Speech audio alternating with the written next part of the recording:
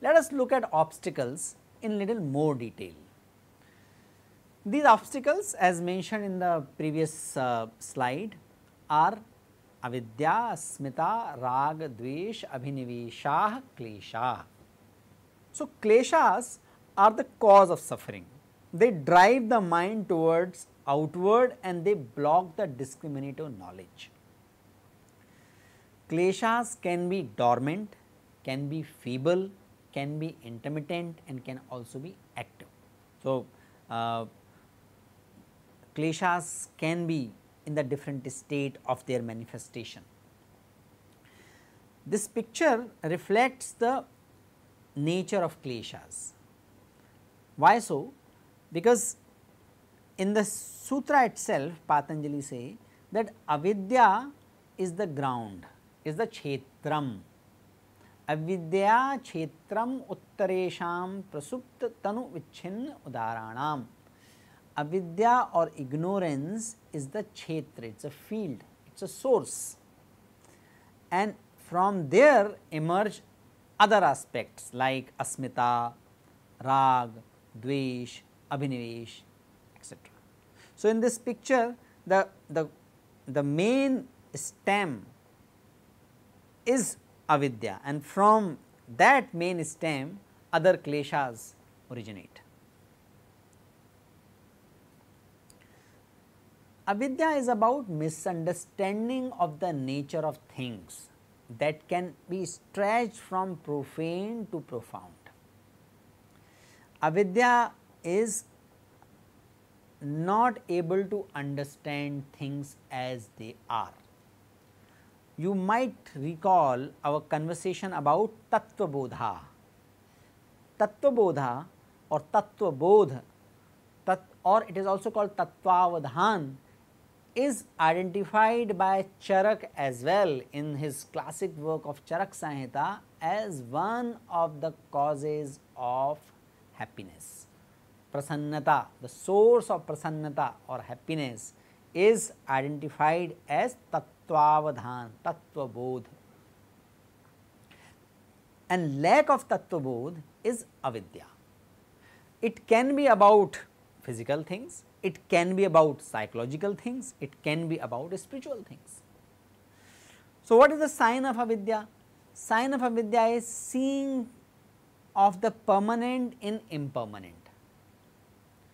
Our sense pleasure is impermanent, but we start living with living for that, it is avidya. The joy we get out of possessing some uh, uh, some um, gadget is impermanent, but we start considering that as the ultimate thing, the permanent thing in life. These are some of the examples. So, this is how avidya operates. So, in any situation we need to look at in any situation what is permanent in this and what is impermanent in this. We need to attach ourselves, we need to take care of what is permanent in certain situation. For example, we want to indulge in food or cold drink.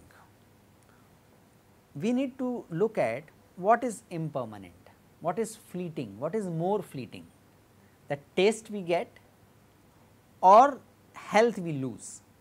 In comparison to the sense of taste, health is more permanent. So, we need to choose health over taste. Similarly, in the relationships, you get into some fight, some altercation or uh, some disagreement with the family member or with your friend. Now, that disagreement in comparison to the relationship you have is impermanent.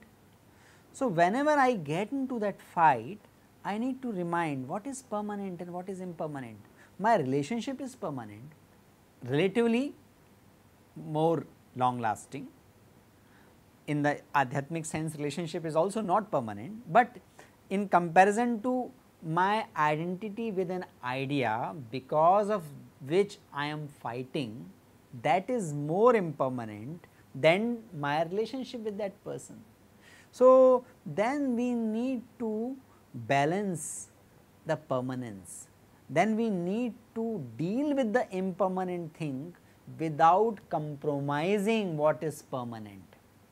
If we are not doing that, if we end up taking up more fights for what is impermanent or more temporary at the cost of which is more stable that is avidya. Similar thing can be looked at in the professional situation. In the professional recognition, we all know that we develop reputation in the profession over the years and that comes that emerges with our behavior, with our regular or um, with our general responses to things. So, in the in the professional uh, situations also many times we can see that we get allured by certain things. In those moments we need to realize what is permanent and what is more stable. Taking small benefit even a significant benefit in comparison to our professional reputation and we need to compare the benefit and the long term reputation. And if we so avidya is compromising on the long term reputation with the immediate gratification. Similar thing, so it can be understood at even higher level. What is permanent? This country, this culture is permanent or benefit of my community is permanent. More stable is the country, this culture. If we keep fighting for the benefit of my community and start compromising on the benefit and well-being of the whole nation or country, then that will be avidya. So, uh, vidya and avidya is not is about our ability to discriminate permanent and stable. And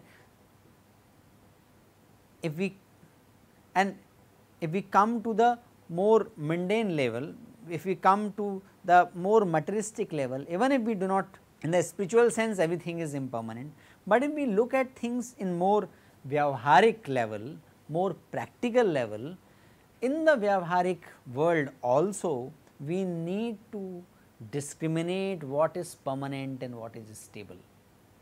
My inability to distinguish permanent and stable is avidya and because of that we choose two paths one is called Shreyas and another is called Preyas.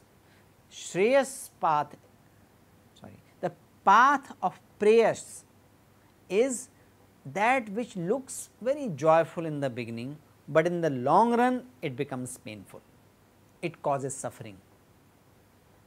We all can relate to the situations with the preyas. We can also relate to the things which are shreyas. The shreyas path is doing something which is which might be painful in the beginning, but the long term of achievement through that uh, pain is positive that is called Shreyas. So, our ability to distinguish Shreyas and Preyas is the reflection of Vidya and Avidya. Second obstacle in attaining well-being is Asmita, misidentification of mind as self.